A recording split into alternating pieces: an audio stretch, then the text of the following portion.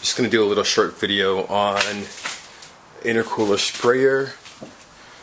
There's the sprayer right there and the solenoid and you see the hose coming to the left hand side there I guess you could say. Uh, I think this is a 16 inch by 4 uh, so there's the solenoid and then it's wired. I ran the wire, I grounded it right there. And then the uh, I put the relay right there. So yeah, I'm gonna show you a little spray in the front. I'll show you where I ran the trying to carry a light around with me. So if you go this way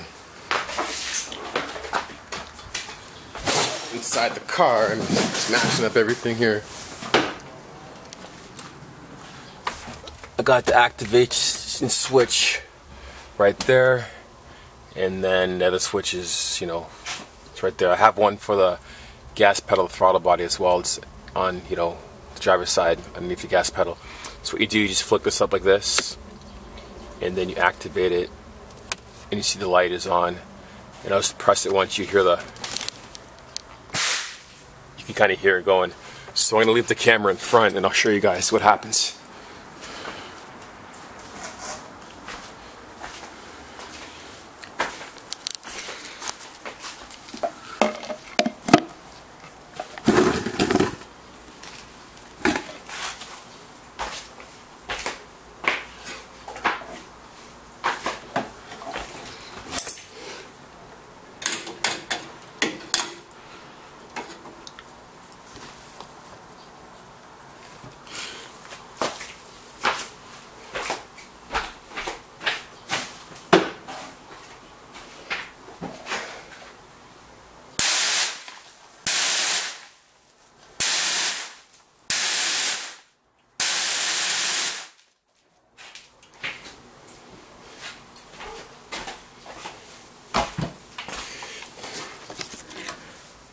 freezing cold.